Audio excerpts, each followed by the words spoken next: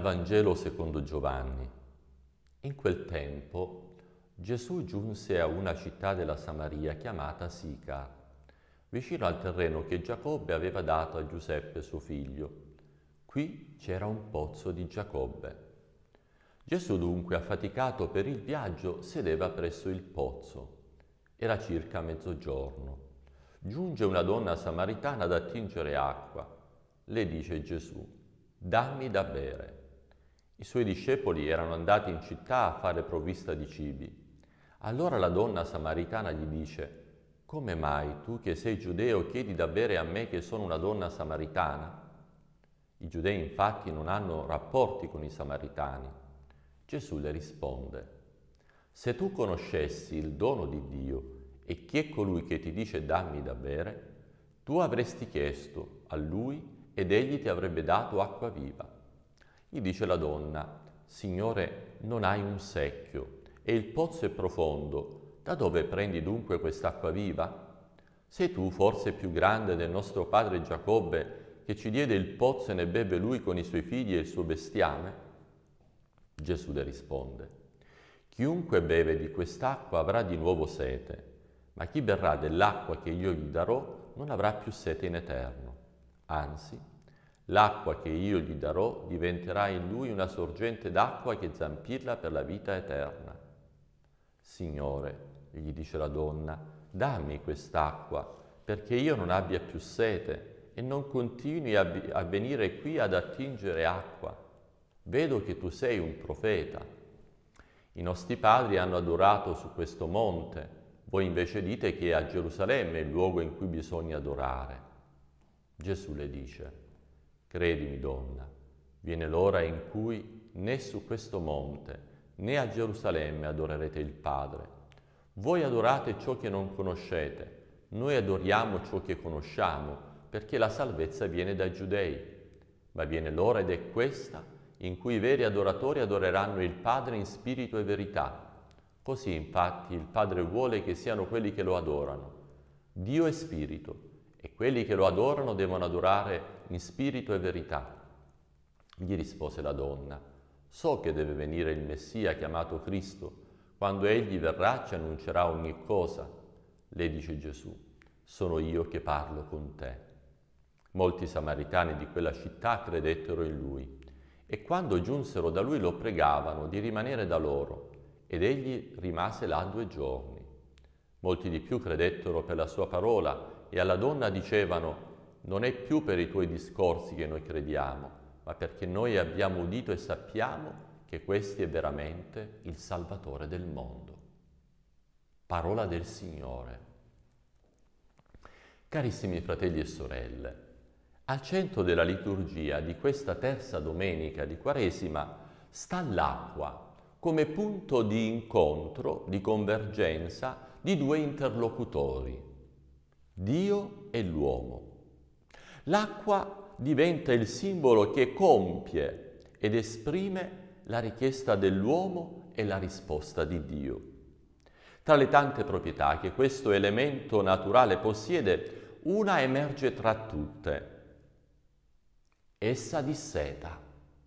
Ed è proprio su questa proprietà che si fonda in particolare il discorso di Gesù con la Samaritana. L'avvio è quanto mai naturale. Gesù ha sete, è mezzogiorno, fa caldo ed egli ha fatto molta strada sul sole di Palestina.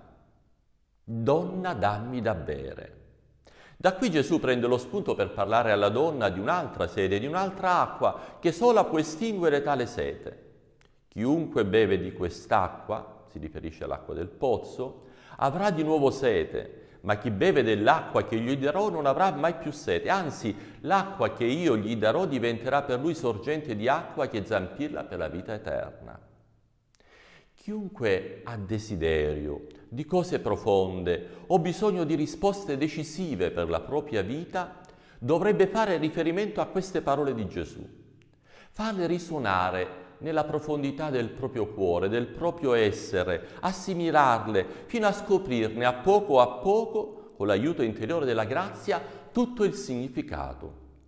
La loro forza è tanto grande che quella donna, fino allora leggera, preoccupata tutta e sola di trovare un uomo, ne aveva avuti cinque, dice il Vangelo, senza essere soddisfatta, improvvisamente si sente come liberata, disincantata, sicché alla fine pare dimenticare tutto il passato nella gioia di aver incontrato il Signore.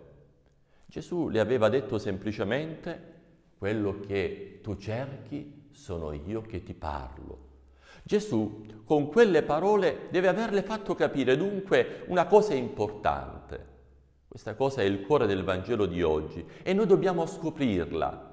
Ci aiuta un testo del profeta Geremia che sembra quasi parafrasato nel Vangelo odierno. Geremia paragonava coloro che abbandonano Dio per cercare aiuto e felicità nelle realtà create a gente che abbandona una fonte di acqua viva e si scava nelle pozzanghere di acqua piovana, che tra l'altro non trattengono l'acqua perché sono cisterne screpolate, bucate. Gesù vuol dire la stessa cosa.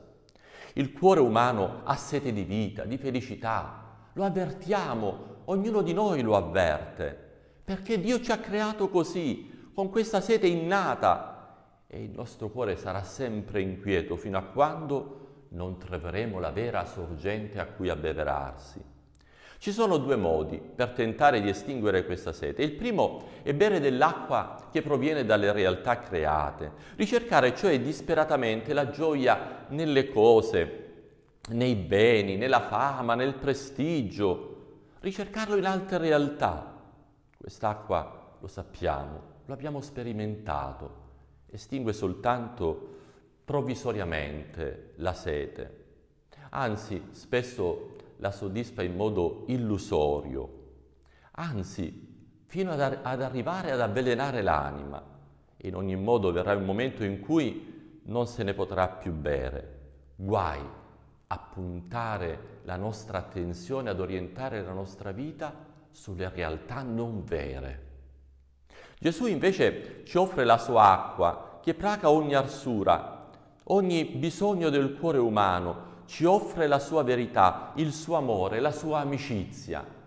E allora assecondiamo quello che il grande Papa San Giovanni Paolo II consegnò alla Chiesa del terzo millennio, quando disse Chiesa del terzo millennio, ti rimane un compito, contemplare e rivelare il volto.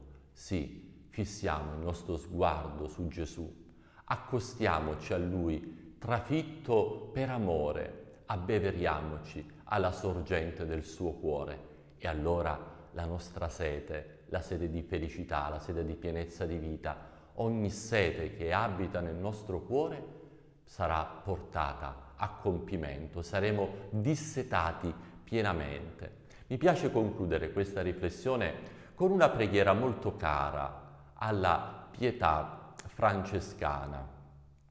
Dice così, vi invito a farla, a farla vostra, a farla risuonare nel vostro cuore, proprio desiderosi di attingere alla sorgente del cuore di Cristo, l'acqua viva del suo amore.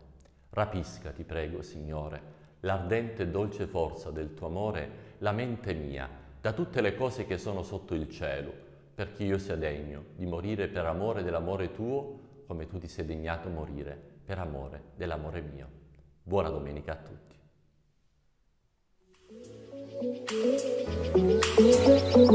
you.